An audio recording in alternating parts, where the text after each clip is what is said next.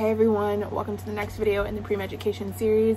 Today I am gonna dig a little bit deeper into my particular experience with the MCAT. I know I've talked about it a little bit in detail before. Also ignore the air conditioner, it is very hot in my home. But today we're gonna talk about that a little bit more in depth I will tell you guys what I did to study, some of the biggest mistakes that I've made, and some things that I'm hoping you'll learn from so that you don't make the same mistakes as me. This is a pretty quick one. Um, the MCAT is such a unique experience for every person, so I don't like to sort of go super in depth and tell you every little single thing that I did because my study technique is totally different from any other pre-med students and so is yours. So take all of this with a grain of salt, but I'm mostly just here to share some of the biggest rookie mistakes that I made. It ended up working out okay, and I think that's because I caught a lot of my mistakes, my mistakes in the end. But please, if possible, avoid the mistakes that I made, and you're gonna kill it on the MCAT. It's that one exam that you wanna take just once if possible. Give it your best try the first time through, and you'll be thankful for it in the long run.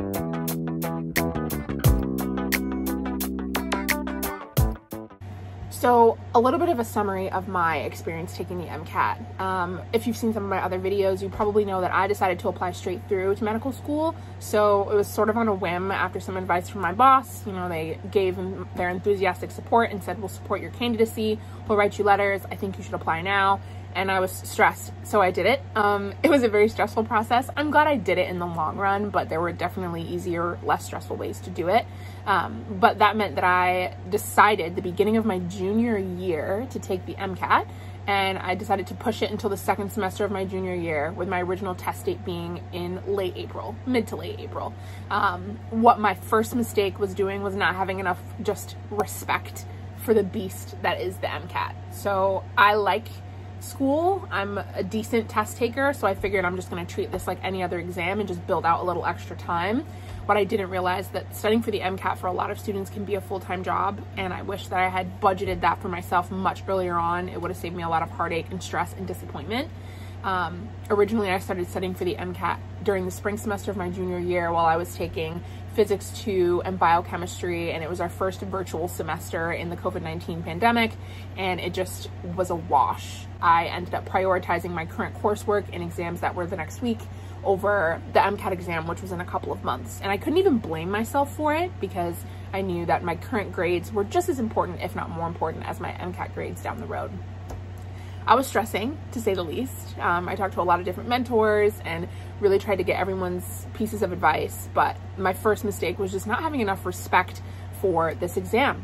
And it sounds kind of harsh, but I have no problem admitting that I thought, oh yeah, I can like study for this, it'll be fine. I'll give myself that like three month window, 300 hours of study time, I'll balance it beautifully with school, and it'll go splendidly. Not the case. Um, I ended up pushing my MCAT date back twice the first time I pushed it was because of the COVID-19 pandemic. It just got canceled, which worked to my advantage because I wasn't ready. And then the second time I pushed it again, up all the way up until August 1st, which is when I actually took the MCAT. Um, that worked out beautifully, well, more beautifully than studying during the semester because I was able to finish my coursework, give myself like a little five to seven day break, and then hit the books hard to study for the MCAT all summer. So first piece of advice, have respect for that exam from the jump and you'll set yourself up for success down the road. The second piece of advice sort of builds into that first piece and that's just to build time and that's part of having respect for it. I did not build enough time ahead of time and it wasn't until a couple months into my studying that I realized the average student takes about 300 hours to study for the MCAT. And once I sort of had that rough golden number, I was uh, able to better make a schedule for myself uh, I self-studied for the exam. I didn't have the money to pay for a Kaplan course or a Princeton review course. So I got some books donated to me from a friend slash some other summer programs and studied from those. Um, I also use the Examkrackers books and any free exams that I can get, plus the AAMC bundles and um, some other cheaper one-off exams uh, but I did not pay for a course. And so I had to use sort of my resources and my idea of how long a typical student studies for this exam to build the time into my study schedule. 300 hours was like my golden number, but it's different for everyone depending on how you study. That worked well enough for me, um, but that's sort of tip number two to go in with one. In addition to having respect for the exam, make sure that respect takes into account the amount of time that you as an individual will need to study for the MCAT. And you'll learn that just by looking at other exams that you've taken and sort of multiplying your study time by maybe five or 10. In theme with that previous tip is to collect your resources early and do not feel obligated to jump right into a course. That decision requires a lot of thought, a lot of money, and a lot of self reflection. Um, everybody asks if you have the discipline, you don't need to take a course, and that's definitely true. Um, I had the discipline, but in hindsight, I wish sometimes that I would have taken a course. I would have been broke. Maybe would have had to push my application cycle, but it would have been easier on me stress wise.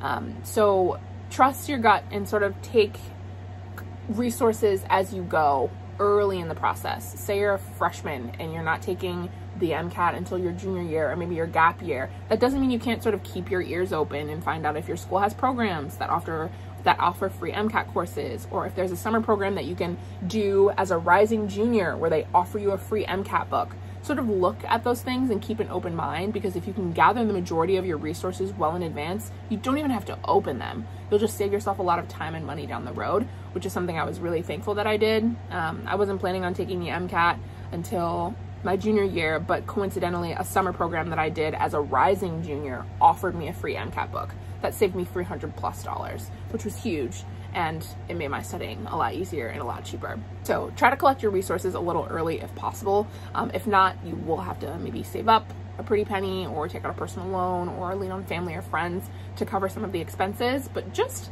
keeping an eye out a little bit early is really, really helpful. This next tip is one that I particularly struggled with a lot. And if I have to go on and give any piece of advice about the MCAT to anybody, is to remember that this is your exam this is your journey to medicine. This is your application to medical school and nobody else's. I have to keep teaching myself that comparison is the thief of joy and I have to remind myself to get off of Instagram and to get off of YouTube despite me being on it right now and remember that everybody is so different. Everyone's going to get different scores in the MCAT and just because they get one score and I get another doesn't mean that I can't get in and looking up YouTube videos about how someone raised their score by 10 points in one month just stressed me out. And I did that way too much leading up into my exam dates because I was stressed. I didn't think I was going to get the score I wanted. I was talking to mentors and they were telling me to just push, not apply this cycle, take a gap year. And I had to go back to an earlier tip that I mentioned and just trust my gut and know that if it was my time, it was my time and that's what I felt like. But if I could go back, I would unwatch so many YouTube videos, ones that were coming out and saying, do this exact step and you'll get like the best possible score on cars or um, sort of here's exactly the, the study technique that I did to get a 520 on the MCAT in like two months. And here I am watching this video a month out from my MCAT test date. Those do nothing for me. Maybe they do something for you, but that's something I really wish I didn't do. It just stressed me out. Um, and another, as a result of watching all of those videos, I was switching up my study technique so frequently. I probably used four different study techniques in the three to four months that I took to, to study for the MCAT. And that really bit me in the butt. I feel strongly that I could have gotten better on the MCAT. It wasn't by any means a bad score, um, but it's definitely not the, the highest score that I felt I was capable of. And I think a lot of that achievement had to do with the fact that I was so busy focusing on what other people were doing and not focusing on playing to my strengths as a test taker. So take every piece of advice with a grain of salt, which is why I'm sort of steering clear from like my study methods because they're particular to me. Talk to a learning advisor, take a, a learning assessment and figure out what's best for you. And then early in the process, if you want to watch those sorts of YouTube videos about how people nailed their study technique, that's fine. But about halfway through and beyond, you have to tune out the noise, trust your gut, and study the best way that's best for you. And finally, here, um, this played true for me more than any other thing in my application cycle. Uh, my MCAT of all of my application materials was probably the most average part of my application. Not to say that it was bad, but it was just the most average part of my application. And for me, it rang true more than ever that your MCAT is truly just a number. I think the COVID-19 pandemic had a lot to do with how my score was weighed against that of other students and weighed against the rest of my application. But I think this theme of the MCAT having slightly less of a weight on who you are as an applicant is around to stay. There are so many other assessments and interviews and hoops you have to jump through to get into medical school. And I think more and more schools are moving away from so much pressure on the MCAT and moving toward how great are your conversations on interview day? How well can you express your passions on a secondary application? and things like that, which give a better evaluation of who you are as a person. You can have a million and ten great test takers, but not every million and ten one of those people are going to be a great physician. So, if your score doesn't turn out to what you want it to be, but it's still within range of what you feel you need to be a competitive applicant, take some time and think about that. Just because you get a percentile or so lower than what you were aiming for doesn't mean you're out of this race. It doesn't mean you can't apply to medical school. A lot of people would have told me that I should have stayed behind and not applied this cycle. And if I had taken their advice and only focused on the importance of that number, I wouldn't be going to Harvard Medical School starting this summer. On paper, I probably shouldn't have gotten into the school that I did, but I'm a firm believer that numbers are numbers and the right school for you will recognize who you are as a person and want you there because of the qualities and passions and attributes that they're going to bring to your to their class and to their community. That was probably the biggest thing I learned in this entire application process, a wild one at that, but this sort of video rounded out to be about a little bit more than my MCAT experience and more so about my outlook, really, throughout the whole process.